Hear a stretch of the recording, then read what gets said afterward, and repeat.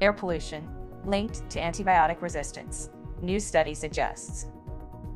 A recent study by researchers at the Zhejiang University and the University of Cambridge has identified a significant correlation between air pollution and antibiotic resistance.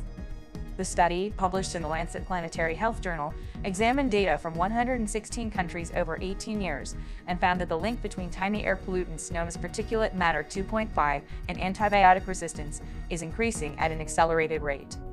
This could expedite the onset of a post-antibiotic era, where drug-resistant diseases become common. Although antibiotic resistance has been primarily attributed to the misuse of antibiotics, this study indicates that pollution could be a contributing factor too.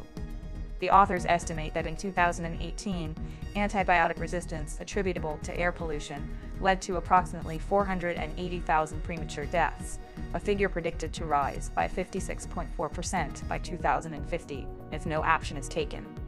The study also highlighted the increasing deaths due to antibiotic resistance and worsening air pollution due to climate change. The researchers also found that particulate matter 2.5 carries antibiotic-resistant bacteria and genes, which can be inhaled by humans. However, further research is required to establish a causal relationship. Thanks for watching till the end. If you found this video about Zhejiang University and Cambridge's study on the impact of air pollution on antibiotic resistance enlightening, show your support by hitting that like button. Your likes help us continue to bring more content like this.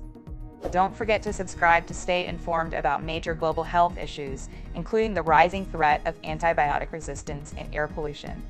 Together, let's stay informed and make a difference.